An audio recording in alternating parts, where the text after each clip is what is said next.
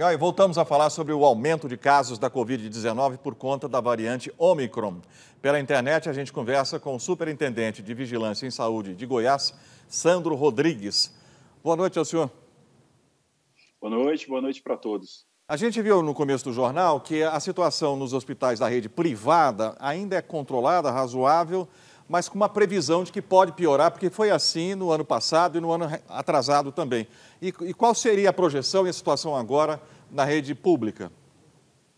Olha, o que, que a gente tem trabalhado? A gente tem observado o aumento do número de casos, temos trabalhado com testagem de forma a fazer o que inicialmente se faz nessa pandemia. A partir disso, a gente acompanha também como que é feita essa solicitação de leitos, tanto para UTI como para leitos de enfermaria, e a partir disso a gente vai se organizando com os leitos que a gente já tem, mas fazendo uma previsão também para posterior abertura de novos leitos, caso seja necessário. Ô Sandro, não tem sentido, né, realmente manter um leito de UTI, de enfermaria exclusivo para a Covid, com os números do ano passado, que eram muito baixos. Então, isso é custo, custa muito caro. Agora, é possível, em caso de piora da, da situação da pandemia, reativar esses leitos com alguma agilidade?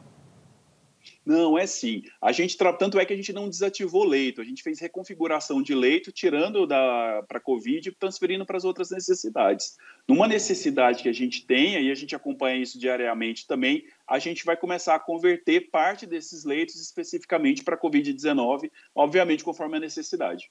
Hoje, no caso da Omicron, é, é necessária aquela segregação de separar pacientes que têm é, Covid de outros pacientes que têm outras patologias, outras doenças?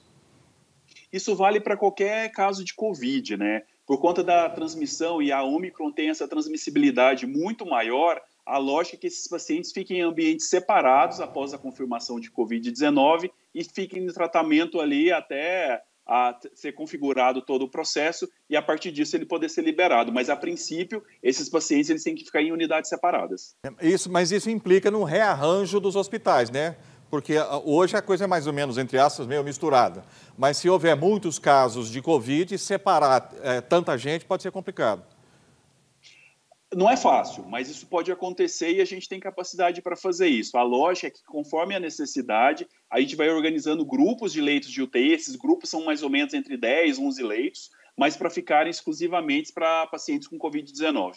Sandro, agora apesar da quantidade de casos, a nossa realidade hoje é muito diferente de um ano atrás, quando a vacinação está tá completando um ano agora, né? A, a, primeira dose foi, foi aplicada né, em janeiro do ano passado. Então agora a gente tem uma parcela, a população vacinada, uma variante diferente. Alguns médicos falam até que é uma doença quase diferente, porque os sintomas são bem diferentes das cepas anteriores, né? Isso varia um pouquinho. Na verdade, o, a grande questão é que a gente está num cenário bastante complexo, né? Pela própria questão da, da influenza ah, no meio de todo esse contexto também. Então, tem algumas diferenças básicas que acontecem entre essas doenças, mas o que fecha diagnóstico mesmo é teste. E por isso que a gente tem trabalhado tanto no estímulo da população em fazer teste e, caso seja positivo, seguir as orientações da vigilância com relação ao seu isolamento, à testagem de contatos, enfim, a todo o processo que a vigilância tem trabalhado quando o paciente ele positiva para a Covid-19. Sandro, e a vacinação para crianças? Tudo pronto para segunda-feira a gente começar a vacinar a meninada? Olha, a lógica é que sim, já tá com, a gente já está com tudo planejado, programado. Obviamente que a gente precisa que essas vacinas cheguem aqui no estado de Goiás. A previsão do que o Ministério passou para a gente é que isso aconteça na segunda-feira. Chegando, se distribui e inicia o mais rápido possível essa vacinação. E esses mesmos pontos de vacinação que hoje vacinam a população em geral é, vão ser usados para as crianças também ou é um esquema diferente? Isso vai variar um pouquinho conforme cada município. Se a gente pensar, por exemplo, no município como Goiânia, que tem várias unidades, isso pode ser direcionado para algumas unidades fazerem casos específicos das, das crianças, a, a faixa pediátrica. Nos municípios menores, a lógica, até pela, pelo, pelo porte do município, enfim, é que isso seja concentrado nas unidades que já aconteçam. Mas isso vai variar de cidade para cidade, município para município, porque eles têm essa liberdade de organização interna ah, dos seus pontos de vacinação. Aí, Sandro Rodrigues, superintendente da Secretaria Estadual de Saúde. A gente agradece a participação mais uma vez.